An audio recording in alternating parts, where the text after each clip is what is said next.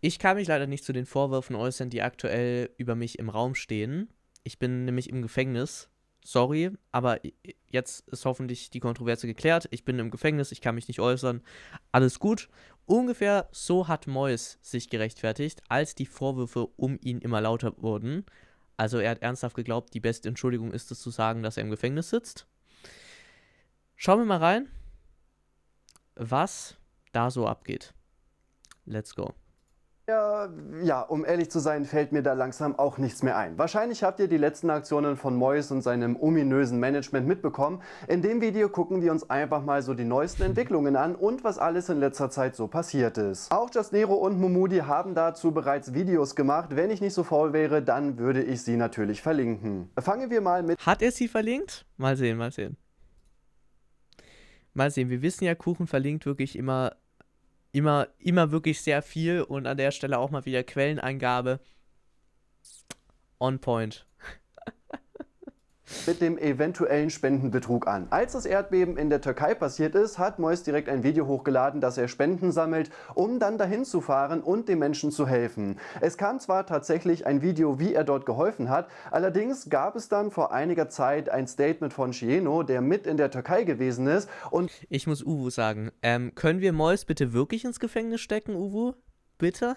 Nein, Spaß. Der hat die Vorwürfe erhoben, dass das meiste Geld, was Mois bekommen hat, er sich in seine eigene Tasche gesteckt hat. Und ab da beginnt der Mois Meltdown einfach komplett. Ich erspare euch hier das meiste, denn er hat hunderte Stories gepostet, er hat bei Instagram wirklich jeden beleidigt, aber ein, zwei Nachrichten möchte ich euch natürlich zeigen. Einer hat zum Beispiel geschrieben, dass er doch eine Therapie machen soll und die Antwort war, F doch dein Vater. Ja, der laut dem okay. dem Kommentarschreiber leider verstorben ist, also sehr respektvoll. Und ja, das kann man halt nicht wissen, aber deswegen sollte man sowas nicht schreiben. Viel schlimmer ist allerdings auch, vor, vor allem, er ist so dermaßen schwul. Auch, dass Mois die Mutter von Barisch beleidigt hat. Da weiß Mois auch, dass die Mutter leider bereits verstorben ist. Und sowas ist natürlich ja, nicht zu entschuldigen. Nicht. Also nicht, dass man sich mal irgendwie dafür entschuldigt hätte, aber sowas ist einfach absolut ekelhaft. Und davon gab es halt noch Dutzende Kommentare. Übrigens, die günstigsten PCs gibt es bei Hardware Rat. Link ganz oben in der Beschreibung. Ihr würdet mich unterstützen, wenn ihr einfach mal vorbeischauen würdet. So, aber die hat er jetzt wirklich verlinkt, oder? Ja, Tatsache. Kuchen hat es geschafft, was zu verlinken. Okay, ist auch ein Sponsoring, gibt keine andere Chance. Anschließend hat Mois dann hunderte weitere Stories gepostet mit Inhalten wie Dachtet ihr, ich fasse euch Hunde mit Handanschuhen an, wenn ihr so lange bellt und lügt, chillt doch, wir haben Zeit, bla bla bla, Fitner, bla bla bla, ich hol mir meinen Hack. Und so weiter. Die Sache mit den Spenden ist natürlich die ganze Zeit irgendwie offen geblieben. Mois hatte dann mehrmals angekündigt, dass ja bald das große Statement kommt, wo er alles offenlegen wird. Und Bruder, wir warten tatsächlich Ich hab dir meine Schuhe gegeben. Bruder, alle haben gegessen an meine Tisch. Pruta. ähm, was auch immer das für eine Anspielung war, es war bestimmt eine. Heute drauf. Und hier müssen wir ein bisschen ausholen, denn so ein halbes Statement hat es tatsächlich gegeben. Erstmal hatte er ja noch ein... Jetzt ist Twitch-Chat Anarchie. 2000 Kanalpunkte. Hey, alle in einer Auseinandersetzung mit Cheno und die beiden haben sich abgesprochen, gemeinsam in Hamburg das Ganze zu klären. Wahrscheinlich so hier. Ja, genau du. Grinst mich gefälligst nicht so frech an. Ich glaube, ich muss dir wohl Manieren beibringen. Hey, nimm lieber den Mund nicht so voll. Ich bin nämlich ein unglaublich gefürchteter, ähm, äh... Kickboxer. Sie wollten ein ruhiges Treffen haben, wo jeder seine Beweise mitbringt, dann klärt man das und dann wäre alles gut gewesen. Allerdings ist dieses Treffen nie zustande gekommen. Allerdings gab es dann ein TikTok vom Neffen von Mois, der folgendes behauptet hat. Sinos Vater hat versprochen, dass es ein Treffen gibt und er Mois dabei haben will. Beide Seiten sollten ihre Beweise bringen und Mois hatte alles dabei. Stattdessen ist Chino gar nicht beim Treffen aufgetaucht und ruft die Polizei und es kommt eine sehr, sehr vertrauenswürdig. Irgendein Typ auf TikTok. Irgendein Typ auf TikTok hat das gesagt. Es muss stimmen. Große LKA-Razzia im Hotel. Mein Onkel und Mois wurden daraufhin sofort festgenommen. Macht angeblich einer, der Recht hat, sowas? Der Vorwurf stand jetzt im Raum, dass Mois verhaftet worden ist, weil Sheno... Warte mal, macht angeblich einer, der Recht hat? Macht das einer, der angeblich Recht hat, wäre doch richtig, oder? Angeblich einer, der Recht hat, sowas? Der Vorwurf... Macht angeblich einer, der Recht hat, sowas? Ergibt keinen Sinn. stand jetzt im Raum, dass Mois verhaftet worden ist, weil Cheno sich nicht getraut hat, die Polizei gerufen hat, er halt festgenommen wurde und deswegen dieses Treffen nie zustande kam. Und hier gibt es so viele Lügen, dass ich gar nicht weiß, wo ich anfangen soll. Erstmal soll das also jetzt plötzlich der Neffe von Mois sein, den man vorher noch nie gesehen hat. Selbst wenn das der Sohn vom ältesten Bruder von Mois wäre, dann wäre er mit 10 Vater geworden. Absolut realistisch! Dazu sind die Videoaufnahmen Hä? Also wirklich, man, man beginnt früh heutzutage. Also wirklich peinlich wäre nicht. vom angeblichen Polizeieinsatz in Hamburg. Gar nicht von einem Polizeieinsatz in Hamburg, wie Just Nero schon gezeigt hat. Die Rede war vom George Hotel in Hamburg. Dort soll Mois ja während einer riesigen Razzia festgenommen worden sein. Hier haben wir die Aufnahmen vom Polizeieinsatz. Wir prägen uns die Gegend mal ganz genau Er sagt doch, und mein Onkel. Mein, mein Onkel und Mois. Ach so, okay. Ah, okay, verstehe. Dann ergibt das doch Sinn. Dann hat Kuchen sich wahrscheinlich verhört. Ein. Eingekreist sind dieser Stein oder was auch immer das ist, das leuchtende Schild, das weiße Schild daneben mit dem schwarzen Schriftzug und die Laterne. Hier haben wir den Ort des Einsatzes bei Tag. Wir sehen die Schilder, den Stein, die Laterne. Ebenfalls sehen wir das Blutspendezentrum neben dem Europahaus. Folgen wir dieser Straße noch ein wenig, sehen wir diese beiden Türme jetzt auch besser. Äh, Eine edgy Seite von mir wollte gerade einen dummen Witz machen. In diesen Türmen ist eine orthopädische Privatpraxis. Massenberger Straße in 44797 Bochum. Das ist ein völlig anderer Polizeieinsatz gewesen. Keine Sorge, das mit dem Witz übernehme gerne ich.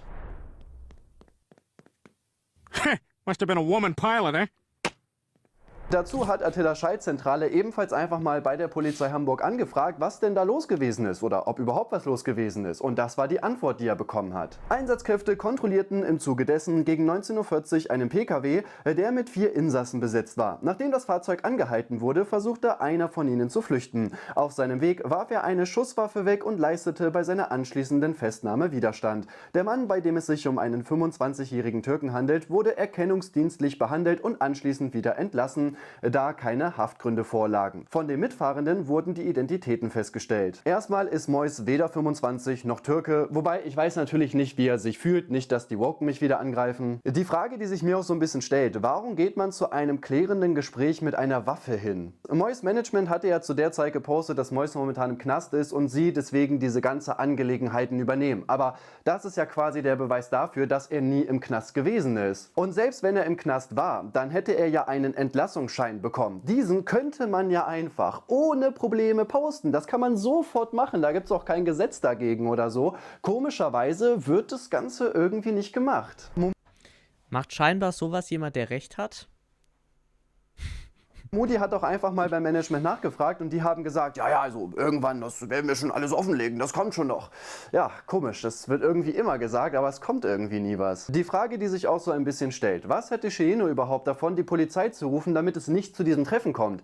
Also man hätte ja dann einfach irgendwann anders das Treffen gemacht. Also irgendwann wäre man sich wahrscheinlich mal über den Weg gelaufen. Das Ganze mit den Spenden ging dann einfach so hin und her. Ich erspare euch das Ganze einfach mal. Irgendwann hat das Management aber gepostet, dass sie jetzt alle Belege und so weiter zusammen haben. Und weil das juristisch so komplex ist, konnten sie Ich habe mies recherchiert. das Ganze nicht veröffentlichen. Aber morgen ändert sich das Ganze. Ja, was auch immer sich dann plötzlich morgen daran ändern soll? Gibt es da andere Gesetze oder wie soll ich das verstehen? Aber was gab es denn jetzt für einen krassen Beleg dafür, dass Mois gar keinen Spendenbetrug vollzogen hat? Die heftigen Beweise sind ein einziger PayPal-Screenshot, der Ähm, hier mein PayPal-Konto. Ich hab, ich hab gar nicht, ich hab gar nicht, ähm, ähm, hier, PayPal.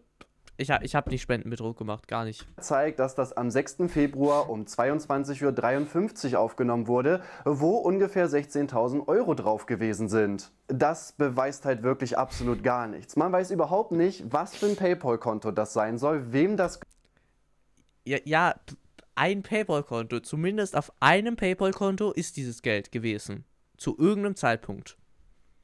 Gehört und wie viel Geld dann wirklich nur von den Spenden reingekommen ist. Just Nero konnte nämlich auch beweisen, dass es verschiedene PayPal-Konten gab, auf die Spenden gesammelt wurden. Es gibt übrigens auch irgendwie verschiedene PayPal-Adressen. Unter dem Erdbeben-Video war das slash Mois Unsale. Unter einem anderen Video, ich nehme einfach mal das Video, nimm eine Kreditkarte und heb ab, so viel du willst. Gänsehaut. Darunter ist die Adresse slash unsale. Und nicht nur das. Eine Meme-Seite konnte belegen, dass Mois sein Video am gleichen Tag ungefähr zwei Stunden vorher erst hochgeladen worden ist. Das Großartig. waren also die Spenden nach knapp zwei Stunden. Das heißt, dass am Ende da eventuell sogar wirklich 100.000 Euro zusammengekommen sind, ist dann eigentlich gar nicht mehr so unwahrscheinlich. Also sie wollten hier beweisen, dass Mois keinen Betrug begangen hat, haben damit aber im Endeffekt genau das Gegenteil bewiesen. Denn es wird am Ende ja deutlich höher als die 16.000 gewesen sein. Wo sind Klar, nach zwei Stunden hat ja da noch fast niemand gespendet. sind denn diese ganzen Belege und Unterlagen, die ihr die ganze Zeit gesammelt habt? Also irgendwie kann das ja nicht nur dieser eine Screenshot sein. Äh, dazu hat das Management ja auch vorher gepostet, dass das mit PayPal ja auch so ein bisschen kompliziert ist, weil da laufen auch noch andere Firmen drüber und so weiter und man weiß ja gar nicht, was sind jetzt wirklich Spenden und was nicht. Und angeblich überweist ja auch YouTube jeden Tag 1000 bis 3000 Euro auf dieses PayPal-Konto. Ja, das Problem ist aber, dass man sich die YouTube-Einnahmen gar nicht per PayPal auszahlen lassen kann. Und das wird auch nicht täglich gemacht, sondern man bekommt Einmal monatlich, ja. Und Paywall geht auch nicht, was richtig nervig ist. das Geld einmal im Monat. Also macht man sich nicht vorher Gedanken, wenn man lügen möchte, dass es wenigstens halbwegs realistisch ist? Äh, Diese Die Frage, die sich aufgrund dieser ganzen unlogischen Lügen stellt, ist natürlich, ist Mois dumm? Für alle, die das Ponyhof-Video gesehen haben. Das Management wurde aber anscheinend sowieso nur erfunden, wie auch wieder Just Nero in seinem Video beweisen konnte. Eigentlich wollte ich ja eine seriöse Anfrage an das Management stellen, was dazu halt gesagt wird. Einfach Bitte um Stellungnahme. Nur leider fehlt der Kontakt, abgesehen von Instagram DMs. Der müsste angegeben sein. Wo wir gerade dabei sind, frage ich mich außerdem, wo sind die für das Management verpflichtenden Angaben gemäß Paragraph 5 TMG? Wo ist die Umsatzsteuer-ID gemäß Paragraph 27a Umsatzsteuergesetz? Wer ist verantwortlich? Habt ihr keine gestellte Plattform der Europäischen Kommission zur Online-Streitbeteiligung? Manche Sachen davon sollte man haben, andere wiederum muss man haben. Ab der Sekunde, wo man in einem Rahmen tätig wird, der mit geschäftlichen Aktivitäten zu tun hat. Im Unternehmensregister habt Ich meine, das ist legit die Aufgabe eines Managements. Das sollte schon erfüllt sein. ich leider auch nichts zum Management gefunden. Genauso wenig haben meine Recherchen beim Patent- und Markenamt ergeben. Wahrscheinlich wurde dieses Management und auch diese Festnahme inszeniert, damit man mehr Zeit hat oder vielleicht auch das Glück, dass irgendwann einfach kein Hahn mehr danach kräht, wie der Deutsche jetzt sagen würde. Ja, es ist halt schon ziemlich doof, wenn die YouTuber trotzdem immer wieder Videos dazu machen und wir endlich mal diese Belege haben wollen, oder? Kommen wir nun aber mal zur Shieno-Thematik. Da hat sich nämlich einiges getan, denn jetzt auf einmal behauptet Mois in mehreren Videos, dass Shieno ihm ja Geld schulden würde. Die Zahl variiert aber je nachdem, wann man guckt. Es sind mal 100.000, mal 200.000. Jetzt gerade aktuell sind, glaube ich, 600.000. Angeblich hat Shieno nämlich mit dieser Spaghetti Break App einen Umsatz von 3 Millionen Euro gemacht. Hier hat Momudi auch einfach mal das Management dazu befragt, wie sie denn auf diese 3 Millionen Euro kommen. Und die Antwort war, naja, also. Mois und sein Onkel haben das gesagt und wir kennen uns ja auch mit der App aus und wir haben uns die Zahlen im App Store angeguckt und haben das dann kalkuliert und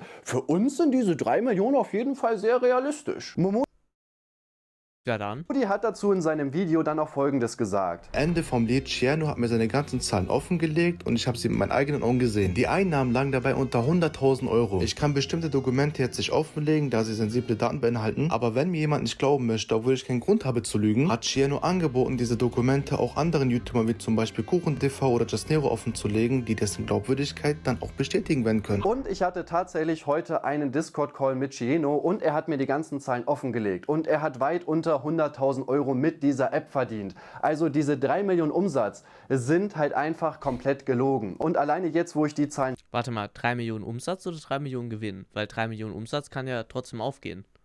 Umsatz ist ja nicht gleich Gewinn. habe, macht es doch keinen Sinn, dass Cheno die Polizei gerufen hat, weil er hat ja die Beweise, dass das alles nicht stimmt. Warum sollte er dann nicht zu diesem Treffen kommen? Aber auch andere Sachen geben jetzt noch weniger Sinn. Cheno hat ja in seinem ersten Statement-Video gesagt, dass er Mois diesen goldenen iClip abgekauft hat. Warum sollte er aber diesen iClip abkaufen, wenn Cheno ihm sowieso Geld schuldet? Dann hätte er ihm das Geld doch sowieso einfach so geben müssen, oder nicht? Cheno hat in seinem neuen Statement dann auch einen Verlauf mit Mois gezeigt, wo der auch gesagt hat, boah Digga, wir gehen damit ins Pfandhaus, Digga, 3000 Euro, dann erstmal Casino und dann ballern wir ordentlich. Dass Mois ihm das Ganze als Pfand gegeben hat, bestätigt er auch nochmal in seinem Video. Und da habe ich auch eine Sprachnachricht von ihm, wo er sagt, dass er das zurückkaufen will. Ja, Bruder, ähm, du kannst 14 Uhr da sein, wenn du willst. Ich habe leider 2 Milliarden Termine heute. Ich werde es nicht schaffen, diesen einen Clip heute zu verschenken. Weil ich brauche dafür irgendeinen Hurensohn, der danach nicht redet. Ich kenne nicht einen in meinem Freundeskreis, der später, nachdem er mich zwei Jahre später kannte, nicht reden wird. Ich glaube, das ist Deepfake. Und man hört noch, dass er all seine Freunde quasi misstraut. Großartig. Deswegen, Bruder, sorry. Ähm, ich habe circa 2000 irgendwas Euro. Wenn das unnormal auf den Sack geht und deine einzige Existenz von diesem Portemonnaie abhängt, werde ich dieses Portemonnaie irgendwie zurück. Shino konnte in dem Video übrigens nicht nur beweisen, dass er wahrscheinlich Mois kein Geld schuldet, sondern dass es genau andersrum ist. Auch da hören wir kurz rein. Digga, ich werde dir deinen beschissenen 7 Euro geben, geh mir nicht am Sack. Wallah, hadet an da Alter.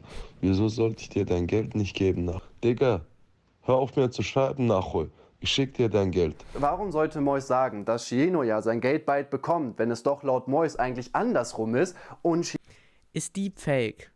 Musst du verstehen.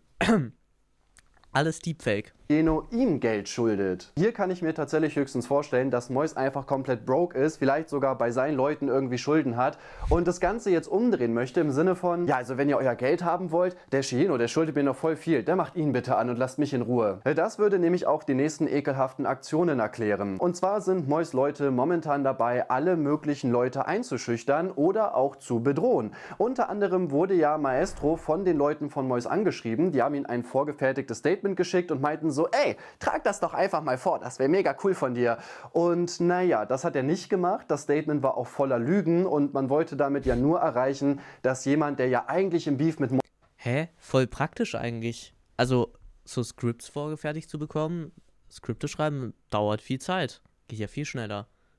Easy. Mois ihm nochmal Rücken gibt, um irgendwie den Ruf zu retten. Maestro ist damit dann an die Öffentlichkeit gegangen, denn sie haben Maestro auch bedroht und meinten, hey, wir wissen, wo du wohnst, wir können auch einfach vorbeikommen. Das Ganze ist natürlich absolut ekelhaft, denn die Leute wissen, dass Maestro dort mit seiner Frau und seinem Sohn wohnt, der glaube ich ein Jahr alt ist und sowas ist natürlich absolut ekelhaft. Aber das ist auch nicht das einzige Mal, dass das passiert ist. Geno hat nämlich auch plötzlich Nachrichten auf WhatsApp bekommen, wo jemand meinte, hey, ich komme nach Hamburg, wir treffen uns dort und dort, wir müssen mal über alles reden, das wird alles viel zu viel.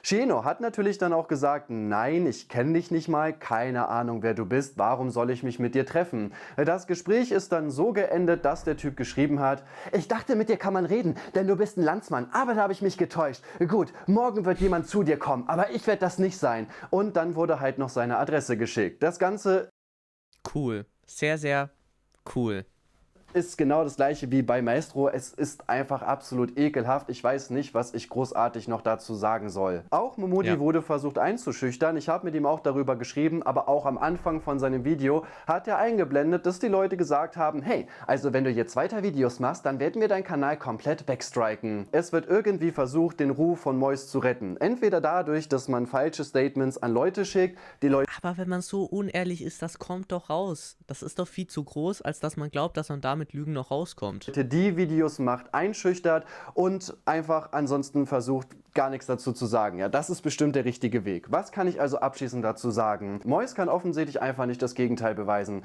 Es gibt jetzt so viele Widersprüche und Lügen, die rauskommen und es werden immer mehr. Ja, wenn er die Wahrheit sagen würde, müsste er nicht andauernd lügen. Das sollte eigentlich mittlerweile jedem klar sein. Er kommt da einfach nicht mehr raus. Hier wurde Mois mal wieder komplett exposed, meiner Meinung nach. Was sagt ihr dazu? Schreibt es in die Kommentare. Wir sehen uns im nächsten Video. Bis dann. Okay, thanks, bye. Ja, nices Video. Ähm, gut zusammengefasst, würde ich sagen. Ich kann mir nicht vorstellen, dass Mois die Wahrheit sagt. Dafür lügt er zu viel. Also, wenn er, wenn er, wenn er wirklich auf Seiten der Wahrheit wäre, würde es absolut keinen Sinn ergeben, dass er so viel lügt, wie er es tut. Schreibt einen Kommentar, lasst ein Like und ein Abo da. Wir sehen uns in der nächsten Reaction wieder. Originalvideos verlinkt.